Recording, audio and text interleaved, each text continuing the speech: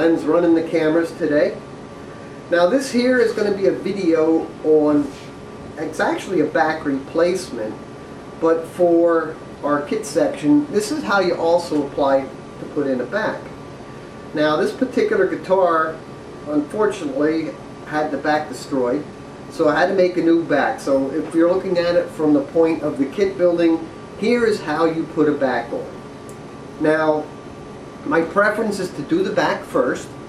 In this case, the top is already on as you can see, so we're going to be doing the back just as though I were building a brand new guitar.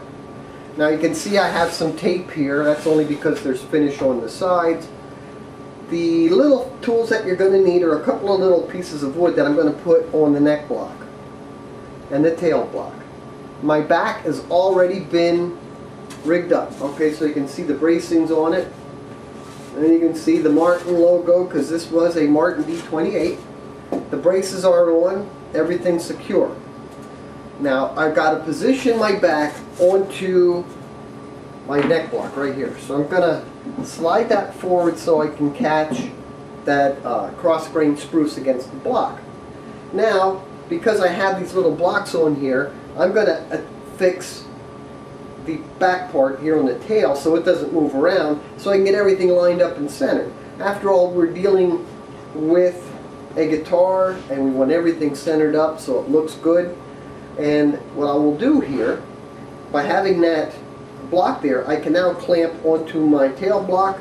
I'll be able to come up and clamp onto my neck block and then I can make all of my position marks for the braces. My methodology of doing this is I'll always work from the back forward. The first lower brace, I'm not worried about it getting fit perfect. I'm just getting that to kind of get my center for the back.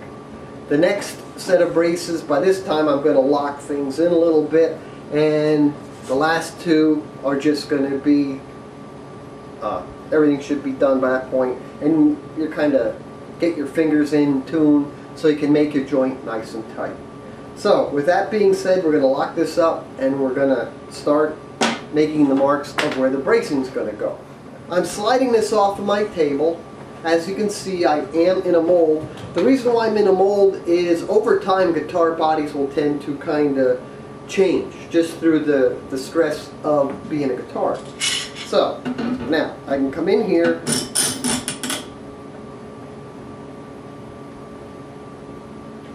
and I have the luxury of moving things yet. So I'm actually kind of happy with that center line. Gonna move this over here.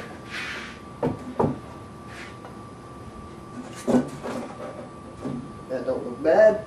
Now I can take this block and you can see there's actually a little angle on there by design because I have such an angle going on up here and all I want to do at this point is just get things locked up so that I can make my marks. The better you can secure your stuff when you get to this point, the more accurate you can draw your lines on. So now you can see that's not going to move for me. All right? Now you can see how we're set up here. I have tape on there. I'll be able to mark my lines. I can look in there, I can see that my, my center line is happy.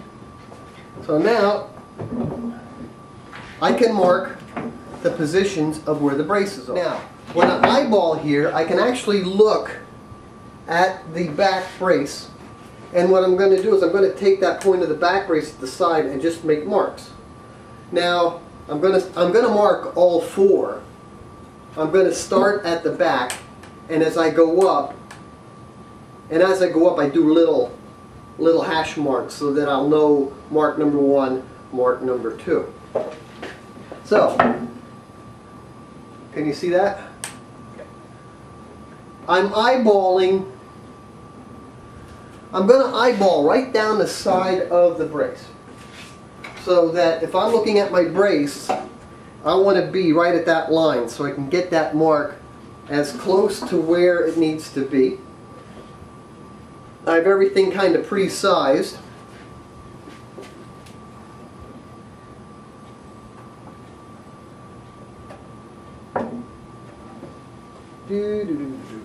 That's one side.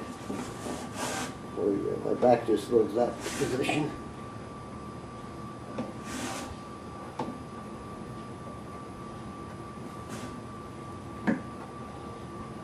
All right, so I have all eight positions now marked.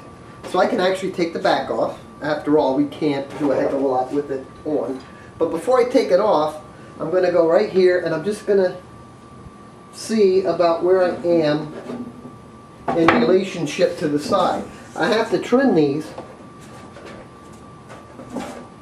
so that they go inside the kerfing. Okay? That looks pretty good.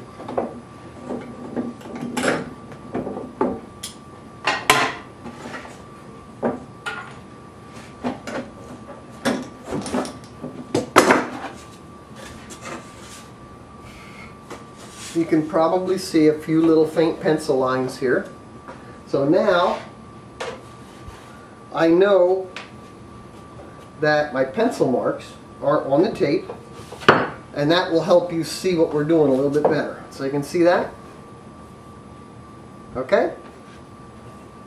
What I'm going to do next is I'm going to take a ruler. I'm going to do the bottom one first. And I'm going to mark my line straight across here with my ruler.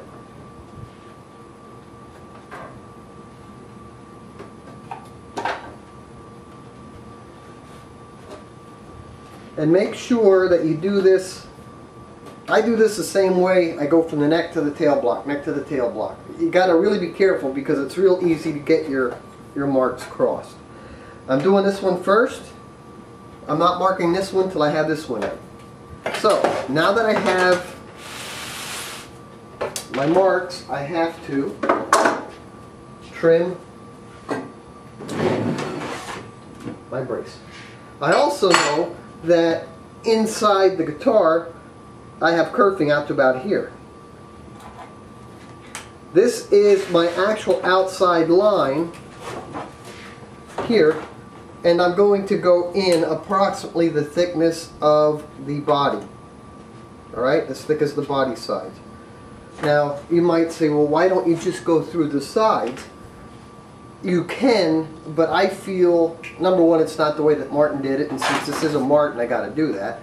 Number two is I fear creating a stress riser. By going through the side, you've now created a zone where a crack can form. And this wood being so well quarter sawn, there you go. And that just scares. I have a number of saws that I use for this. And these are not very expensive. They're called a razor saw. And I use a chisel. So I'm going to take this off. And all I need is a little straight edge just to get me into my my side set and I can make adjustments as I go. Now some of these little razor saws will cut in the push stroke, some will cut on the pull stroke. I like to do this on the pull stroke.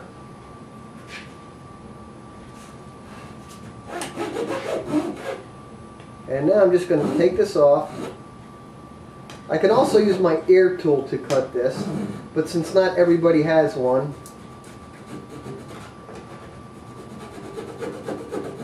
and I'm watching, there is a little shade line here. So I'm trying to watch that. You'll probably get a better view when I do the other side here.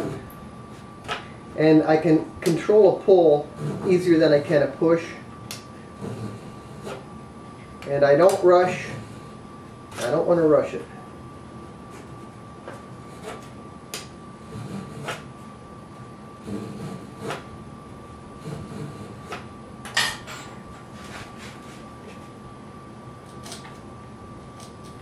Now you should be able to see, I've got to get over here where Glenn can, can focus in better. Good? And now since I have that notch cut in there, I can take some of this off. And I'll do a little more.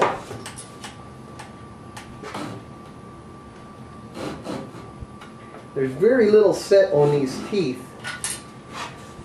And now I can just, this is an old mortising chisel and I have it so I can actually put that right onto the back and I can cut straight to the right to the back itself. You see that? Now I'll do this side. I'll slide this up a little bit, then Glenn can probably get a better shot of me doing this. And I can't stress enough, you need sharp tools. Uh, don't rely on old stuff. You need sharp.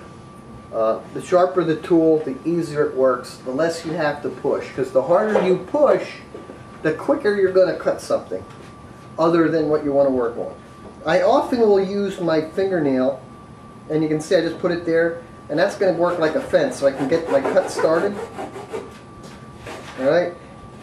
Now granted, when I do this, this isn't necessarily the way that I do it, but I just want to show you the principles of getting this done.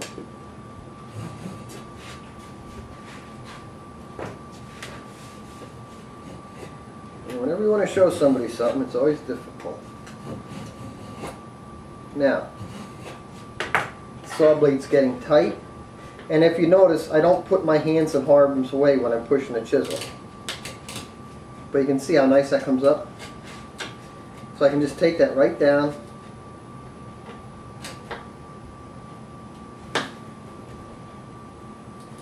And once I get that off a little bit, now I'll go cut some more.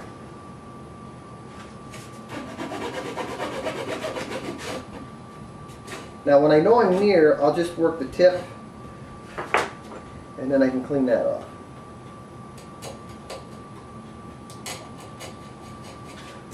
Now I'm going to do that to all of the rest of these guys.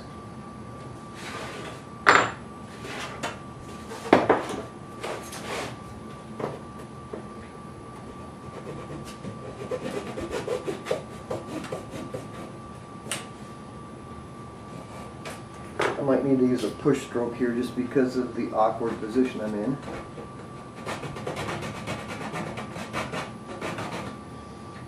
Flip it around I can pull it that way.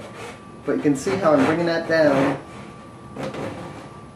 I'm on, pop it.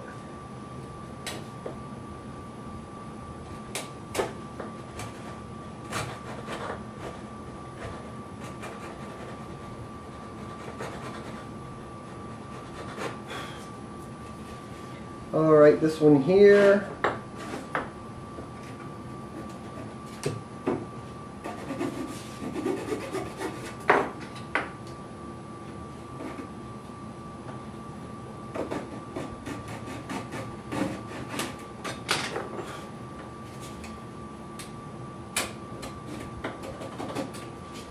I just do little short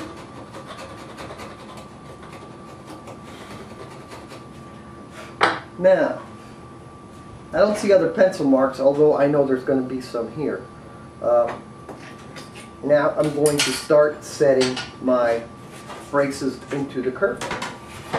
The first cut I'm going to do will be the low one. I have my I use a little, my die grinder inlay tool.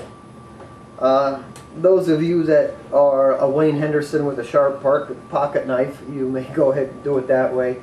Find what works for you. Uh, the Dremel tool will work. And you just want to be careful that whatever you use, uh, you aren't going to be in harm's way. So I'm, I'm checking the depth of my cutter, and I need to make a little adjustment. Now, here we go. I am now going to make my first cuts. I have the pencil line drawn out. Now this will make a little bit of noise. Now the direction of cut is something that you want to be careful of. A route cut is where you'd be kind of like spinning backwards so that the angle of attack is coming in. Route cut would be going with the direction of spin. So basically if you're going counterclockwise with a clockwise movement, you're going to be climb cutting. So here's what I do. I'll use my two fingers here and you can see I'm using one on one side of the on the outside, one on the inside. That gives me very finite control. That way I can just work my wrists.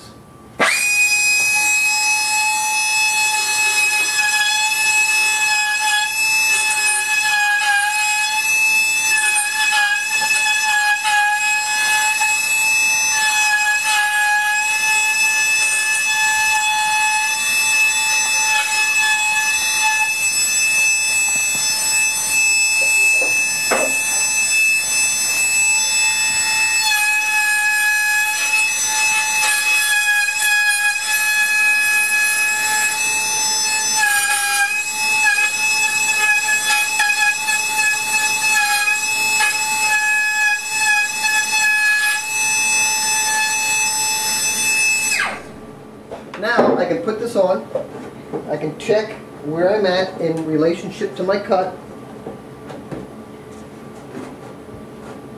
And I'm looking at my center line.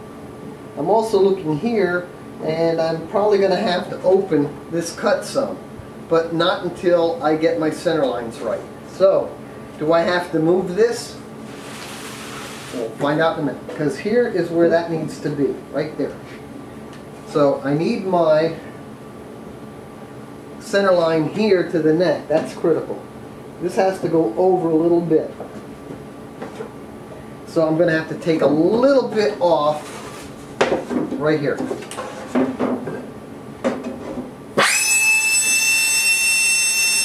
Now, this is probably an advanced technique. What I'm going to be doing is I'm going to be using my fingers as a guide as I bring this in. No matter where you put the hose, it's where it's going to be. So what I'll be doing is my fingers will be resting here and that's going to be letting me adjust how far in I go. This finger is going to let me know how deep I'm going. Or if you feel comfortable with a chisel, razor, whatever, go ahead and have at it.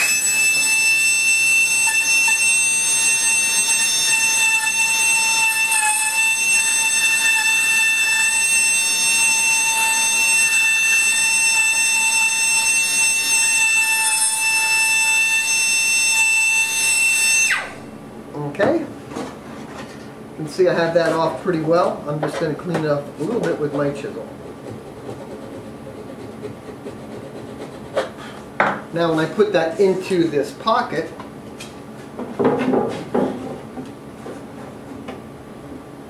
I'm looking for two things. How tight does it fit?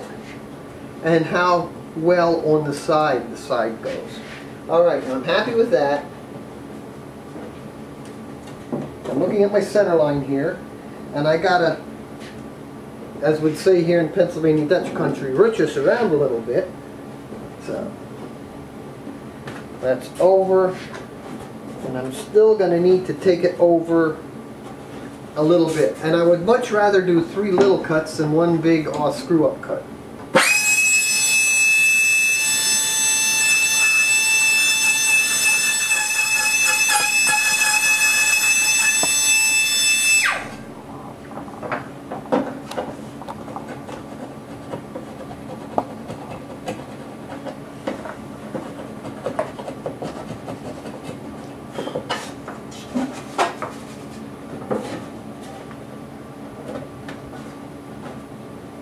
Not bad. Okay, now I'm happy with where my center is. So if you think about it in simplistic terms, I took this point, that was my seesaw fulcrum. I could manipulate it this way till I got my two center points lined up. Once I have that point established to my center line, then I can come over here and help block that. So, while I can always make adjustments, right now we're getting to the point where we really need to be careful.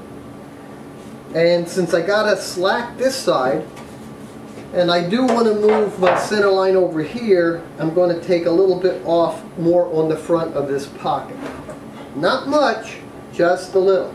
Now if this joint happens to be a little sloppy, I'm, I'm not losing a lot of sleep over that. But it sure doesn't take much to move it.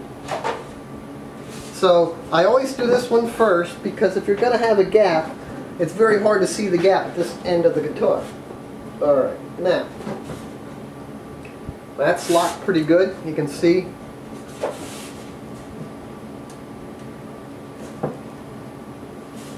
I want to move it just a little more. And I want to double check something here. Do I want to roll it or do I want to slide it? And by rolling it, do I want to do this or slide it over? Do I want to do that? Right now, we have a lot more fudge room than we would in the other situation. Now right there, I'm into my mortises. And you can see, that's pretty good. So now, when I look here at my center line, I want to take this over, I'm talking a, maybe a itty itty itty bit. So I'm going to open this up and I'm going to allow that to roll. Now when that rolls, when that rolls at that point, that can take this center line towards me and that center line towards you. Just a little bit. And once I can get my, my center point,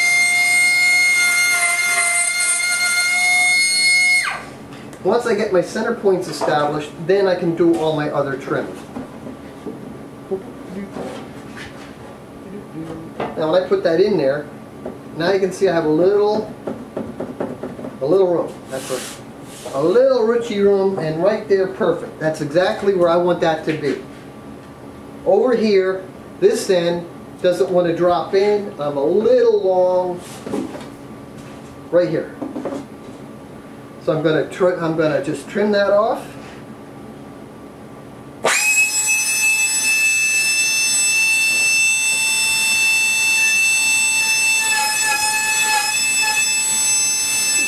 Okay, I'm happy with this. Now I have two points that connect my back to the guitar.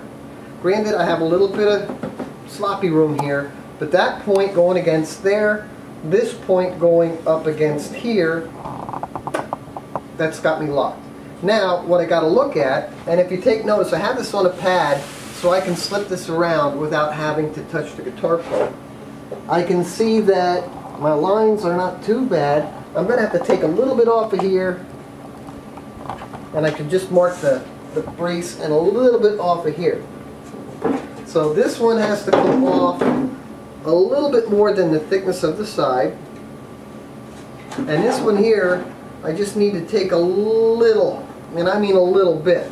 So since I have a slight amount to move here, I'm going to use this. If I had a radical amount, I would use the saw and the chisel.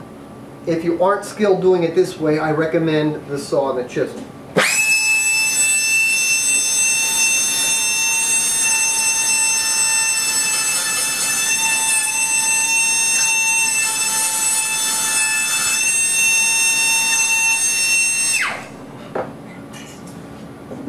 And I'm just gonna,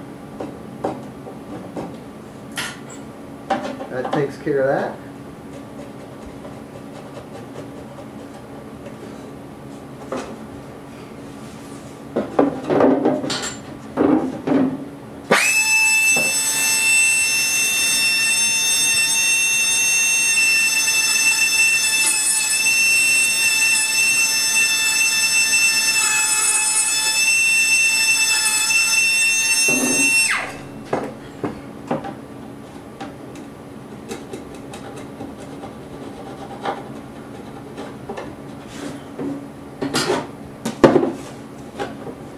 And I always will put this back in the same way. One, two, three, four.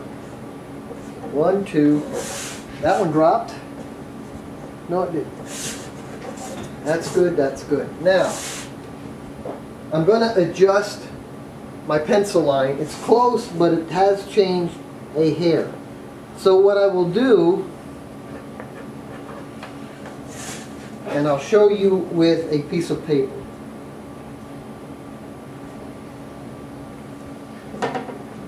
When I'm making a mark for my my brace, okay, we're going to pretend that this margin line is the body rim.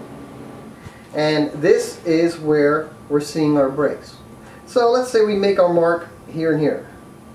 Right? So that represents the corners here. But now we've made some adjustments and now we're going to have this happen. So now this line has moved up to here. And this line has moved to here. So you know which two you want to go to. Draw these down and come across like that. So now you know you're going from here to here. These two have now become nothing. That way, that's my method that I can go so if I have more than one line, I'll know which lines I'm going to hit. Alright, so now at this point, I've made my marks. I've made my marks. And you can see here, the original line, here's the one that I moved. And the one over here is very similar, not quite as radical. So I'm going to bring this line to the top, that line to the top. Same way here, this one and here. So there's my neck block line. There's my neck block line. Come down here, tail block line, tail block line. So now you can see I'm going to be removing this area of wood. I'm going to be removing that area of wood.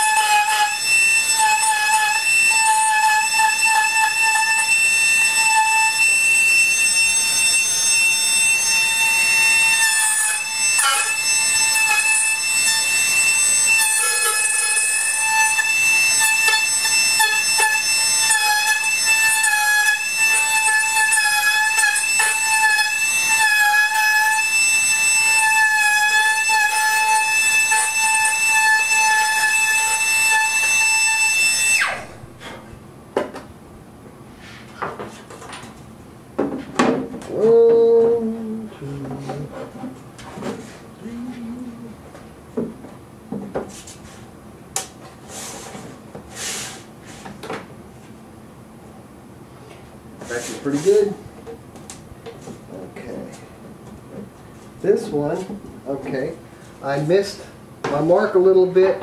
I actually have to take that little tidbit off in there, yeah?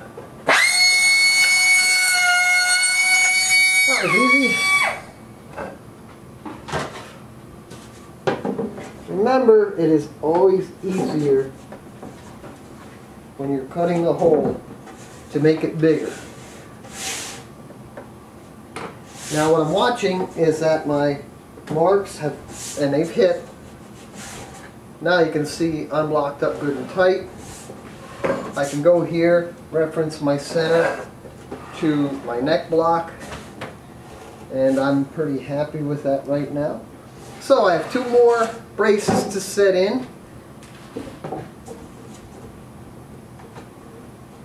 Actually, those lines don't look bad.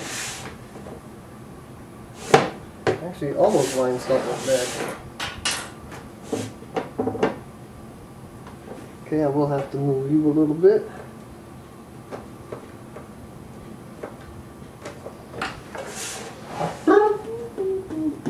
Alright, so I have to shorten him up a little bit.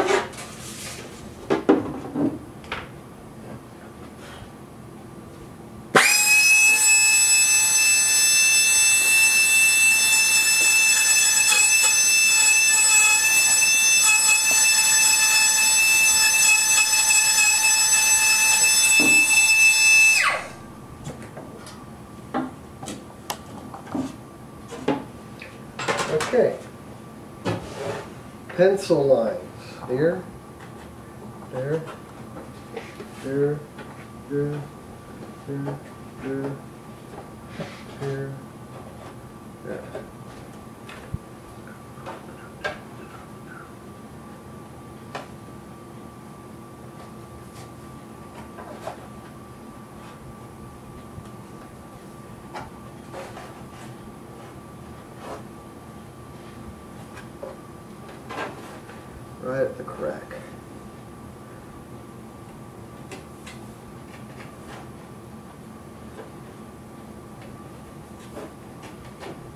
Alright. Now I just got to make the four notches. Now it's just a matter of pouring in all the holes.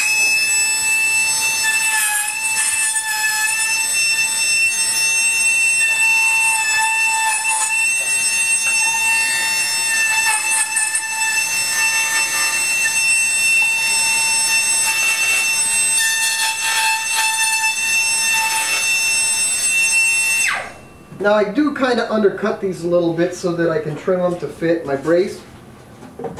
One, two, three, four. Well, the way it goes in, same way every time. One, two. These four are in perfect. Oh, that one just dropped in. That's perfect. Okay.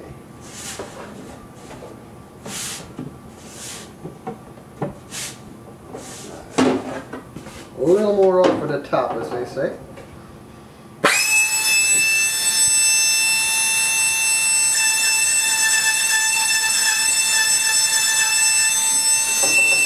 Alright. My brace a little bit. Let me go to my power chisel. Fact, if you want to... Oh, perfect, perfect. That's good. Alright, now what I'm trying for here, I'm always trying to shoot that my end, my end scallop here is between the 16th and an 8th. And I'll try to make them all the same because it makes cutting it a lot easier. But that may not always be an option. So if you need to adjust the cutter to go down a little deeper, all right. Now, on my theory of why, another reason why I do not like to go through the sides of the guitar, common sense. Uh, if you aren't careful on how deep you make your, your braces, you can actually end up popping through the sides and then end up showing that the binding has to be a lot wider to hide that hole. So we don't want that to happen, all right?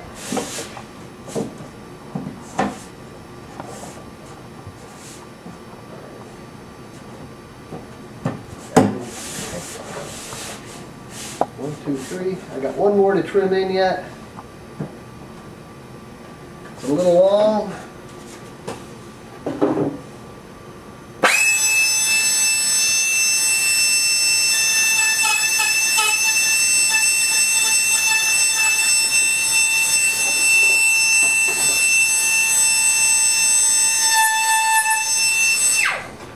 Alright, this should be just about ready to get glued up.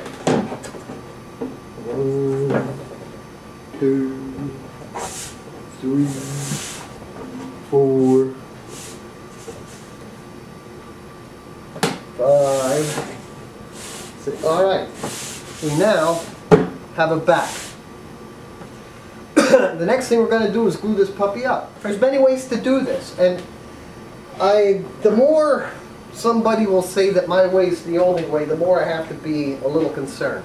Find the technique that works for you. My, I'm actually been starting to use a lot more of the go bar for this step, for this process. Now I can look inside the hole. One little thing that I do need to do here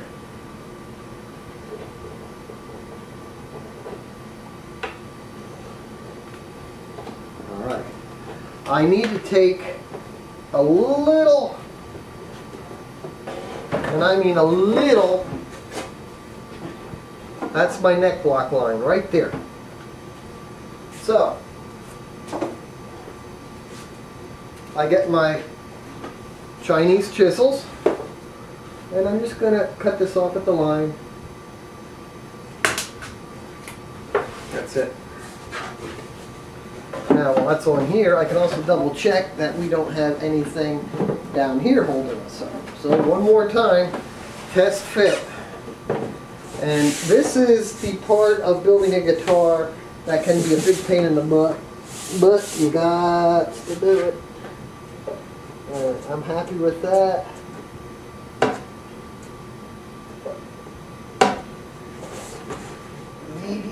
Yep, I'm good. All right. Now you can see that is snug, square, voila. That's how you that's how you trim a back for a guitar. And my way is the only way. Just take your time doing it. If you look at the process that I did, started here, went over here, made adjustments, take a look at your two center lines. If you're if you are off the same amount on your center line, you know you have to slide it over, which means you got to shorten this brace. If you are off center this way, over center that way, you roll. So remember that. That point there allows you to do this or this. Establish center off of the first lower brace. Once you get the center established, come over here, lock it up. Once you have three points contact, it's not going anywhere and work your lines nice and easy and try to get them as tight as you can. So the next thing we're going to do is we're now going to glue this back on. Alrighty, I'm going to be moving around a little bit here, so here's what the gist of what I'm going to do. I'm going to apply glue. I'm going to put my top or my back onto the body.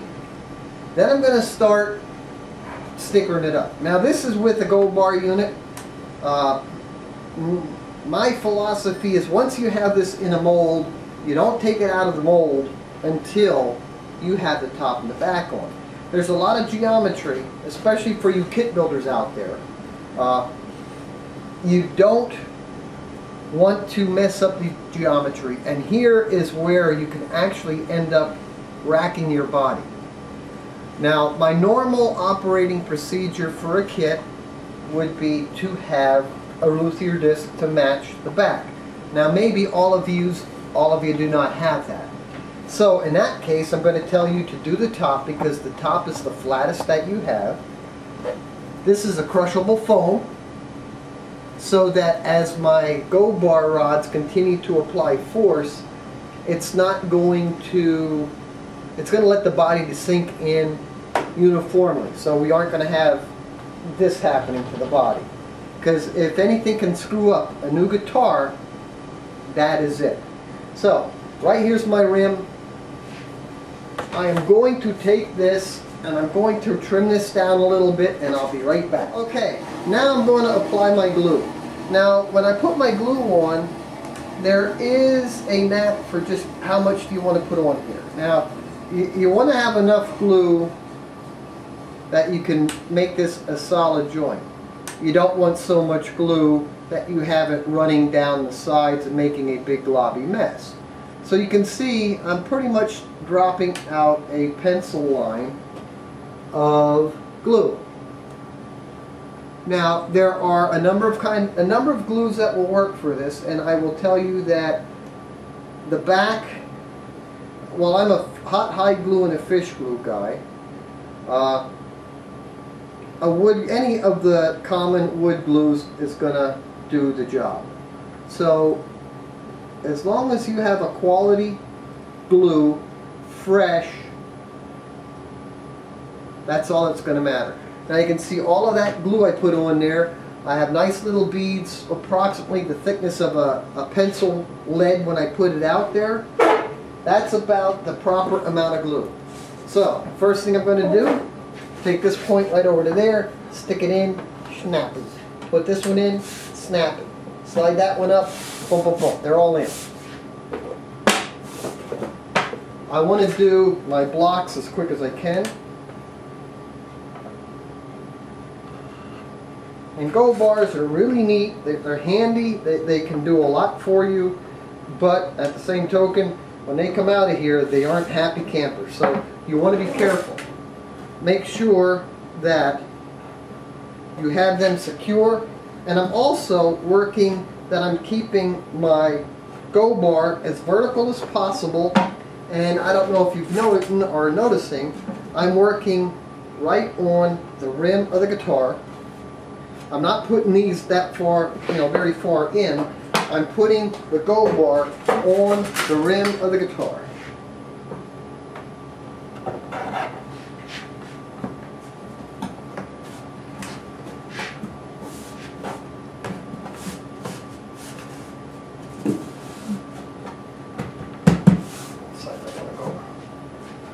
Sometimes you got to nurse them a little bit. Sometimes you got to cuss a little bit. And sometimes they just work easy. That's good. That's good. This side here doesn't want to go in. Got to take this off. And you don't want to force it. When you know they fit, there. I think that just Yep. There it goes. Once you get them in, then go. The tail block, neck block are very critical. And if you kind of notice, I'm working at bracing points.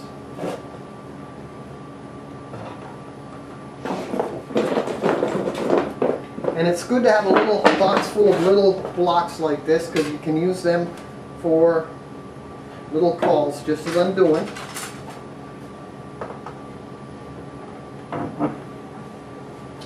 Okay, that's pretty good.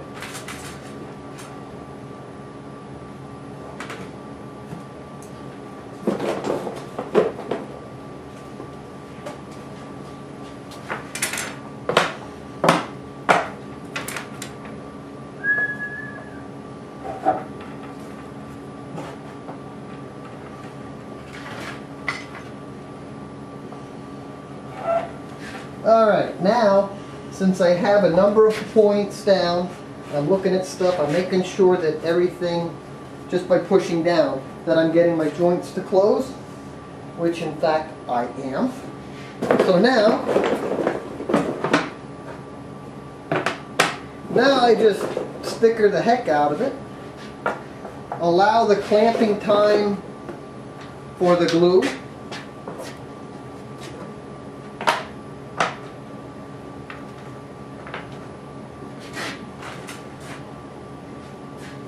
Now this is going to require an 8 to 12 hour clamp time. So while you won't see me taking it out of the go bar deck, now the critical point is that I am keeping this point in line with the rim of my guitar. Now what I'm doing is this point is staying right in line with the rim. I don't want to be in the back, I don't want to be inside the top, I want to be on the rim and on the kerfing. After all, that is the joint that I am gluing. Now, talking about the different glues, we have uh, aliphatic resin, we have polyvinyl, we have fish glue, we have hide glue. And when we're talking hide glue, we aren't talking about the cold glue, we're talking about the hot hide glue. All of them are great for this. The techniques of clamping, look at the bottle. What does the bottle tell you the clamp time is? All right? Uh, I know that Titebond can be pulled in like 45 minutes, but fish glue, hot hide glue, they are protein collagen glues. They need a good six to eight hour clamp time. And that's what we're going to give. And I can look over the whole rim and I can see that my joint is closed and tight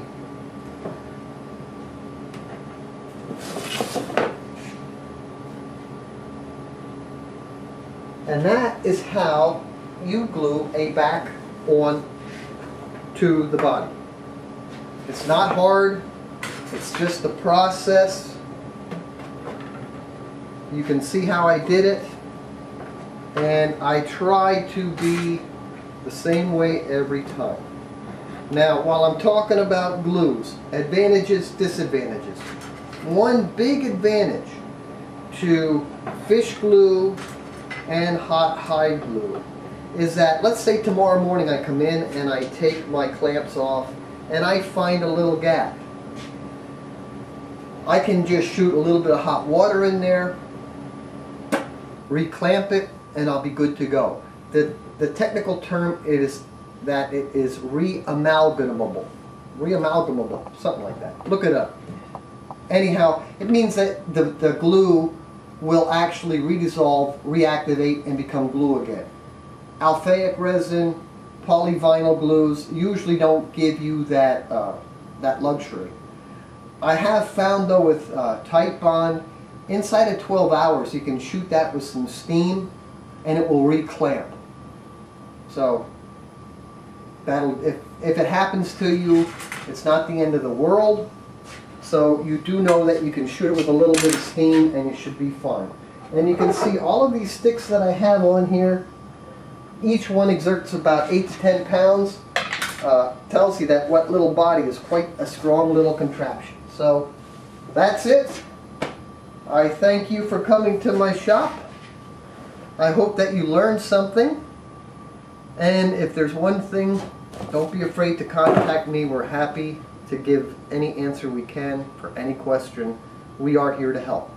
So from my shop to yours, thanks Glenn for coming in and I'll see you next time. Bye-bye.